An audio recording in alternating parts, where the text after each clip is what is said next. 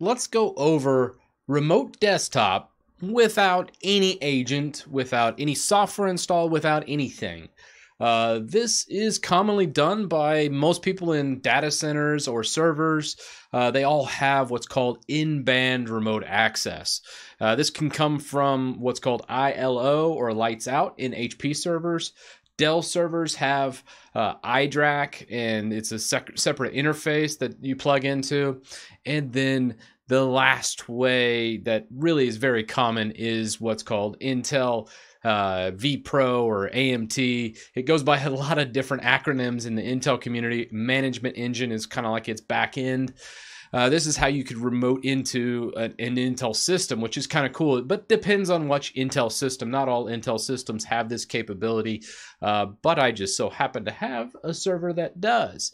So uh, let's go ahead and showcase this because most people are really curious on how this remote access works. A lot of people consider it extreme con- security concern, which it is. There's a lot of security holes in the Intel management engine and the Intel uh, uh, in-band access, it's it's a little scary to be honest with you. However, there are ways to update and secure it. And you should be aware that uh, it, your system has this. If it does have this capability, it's something you should be updating, especially when it comes to the firmware and those types of things, because I'm going to show you how you can access your Intel system uh, once this has been actually enabled.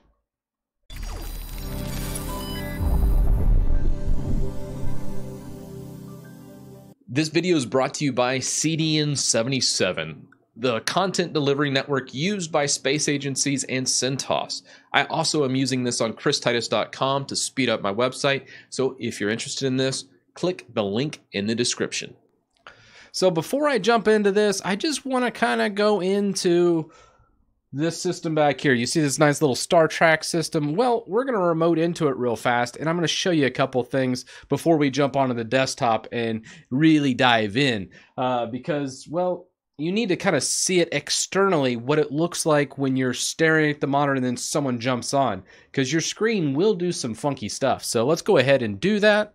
I'm going to go ahead and launch a, a, tool that wasn't actually sanctioned by Intel, but it's so much better than anything Intel has. This is a, a lot better to remotely administer and also remote into your system without paying an expensive Real VNC Pro license. So I'm going to go ahead and connect and we'll go ahead and do remote desktop. Now be watching this screen back here. Um, it will pop in. You're going to see it do some funny things. So you see that little red border right here? That's telling that you have someone's remotely connected. And then there's actually a little icon right in the top right here. If you're looking, um, right about right here, you'll see this little system. So it does a lot of things to warn you it's been remotely accessed, which is good. Uh, but I wanted to go ahead and kind of showcase this. Now, let's just uh, reboot this because there's some really cool stuff. I'm going to just go ahead and say, um, let's reboot or we'll power cycle. And as you see, it's as if I came up and hit the reset button on the system. That's how powerful this is. And, uh, that's kind of amazing. So uh, I wanted to just go ahead and showcase this functionality because, well, it, it's kind of cool. But at the same time, you saw that was a hard power cycle. You, it actually said, hey, Windows didn't shut down properly. So uh, kind of cool. But let's go ahead and jump on the desktop and showcase this tool.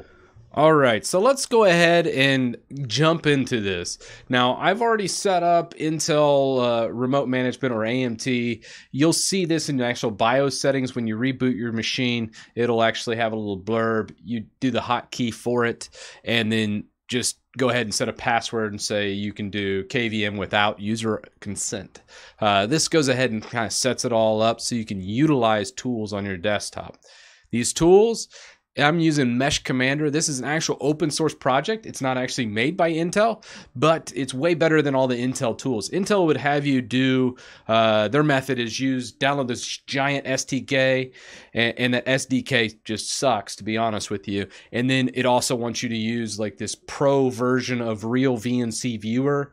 Uh, it's called Real VNC Viewer Plus. This is actually I think a monthly subscription or some crap.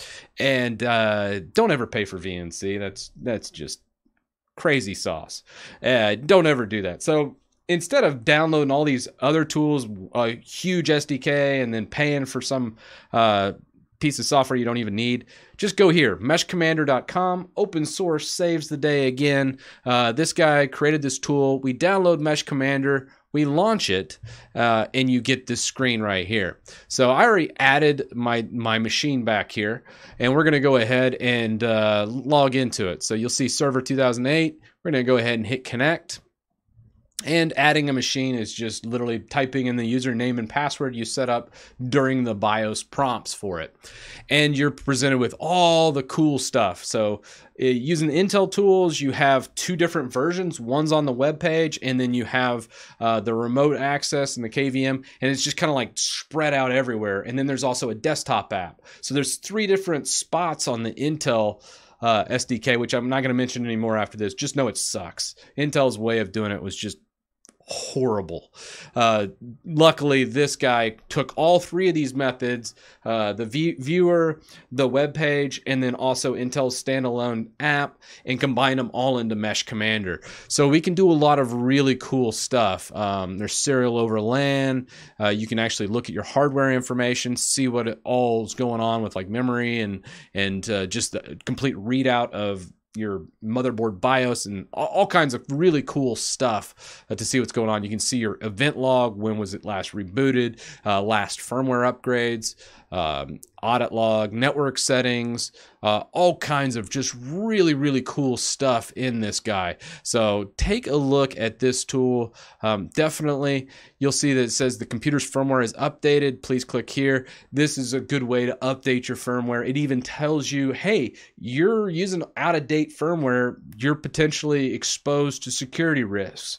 This is very important. Obviously, if this machine was on business, I would update this firmware immediately uh, when it comes to remote access, especially in band access, because you can really have some really damaging stuff happening at this high level access.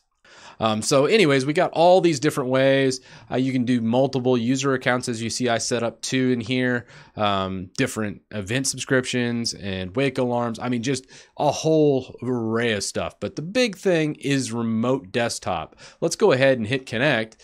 Oh, there's that nice little Star Wars theme. And you'll see this is actually a Server 2008 system that's on this bottom PC surprise! It's a really old screensaver too from uh, 2000 so if you want the star trek one i'll put the little link in the description and also right here on the page. Um, but anyways so from here we can do a whole bunch of stuff which is just really really neat. Um, apparently i need to activate windows but you know i'll do that eventually. And uh, from here, we can actually explore and remotely control this. And you'll see in the power options, you can do a power up, a power down, a reset, all kinds of stuff. So, I mean, it's really, really neat. So let me just showcase this real fast. We're going to just do a cancel and we're going to go ahead and turn this guy off. Now, it looks like it wants to install some updates. So let's see how fast it does these updates and shuts down. All right, I went ahead and disconnected. We're going to go ahead and reconnect now.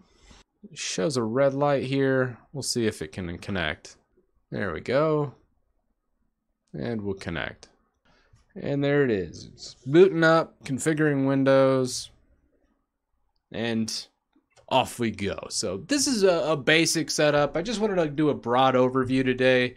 Uh, I'm not going to finish waiting for Windows updates. We'll be here forever, and this video will be 30 minutes long of me standing here. So with that, I'm going to go ahead and, and go ahead and shut this down. So that was an in-band management access kind of thing. I wanted to showcase this because it's super powerful and if your system has this capability, it's kind of neat to set up if you ever need to remotely access it, especially if you have an issue like let's say it locks up or something like that. This in-band management access basically is unaffected by this unless it literally has a hardware failure and it's unable to actually power on uh, it's going to be able to be accessed through this in-band management. This is extremely important when doing updates and all kinds of stuff. it's how people in like data centers and are managing servers aren't constantly running back and forth between the data center and uh, all those other places where these servers are stored because they have this nice in-band access. It's super important. Anytime you buy a server, typically you'd add this, like the HP Lights Out and the iDRAC from Dell are quite nice. I like it a lot better than obviously the Intel counterpart but at the same time, uh, it is fine. It's it it works, but at the same time, you got to be very wary about a lot of its security concerns, where uh, the Dell and HP aren't nearly as bad. But with all that said, let me know your thoughts down in the comments section below. What do you think of in-band access? Does it just scare the crap out of you, or do you think it's just an awesome tool that we should all be using? Uh, personally, I don't typically set it up on residential machines, only business machines, but it's still kind of neat, and I thought I'd show you that today. But a big shout out to all the people that support this channel. Without your support, I couldn't make videos like this one, and I'll see you in the next one.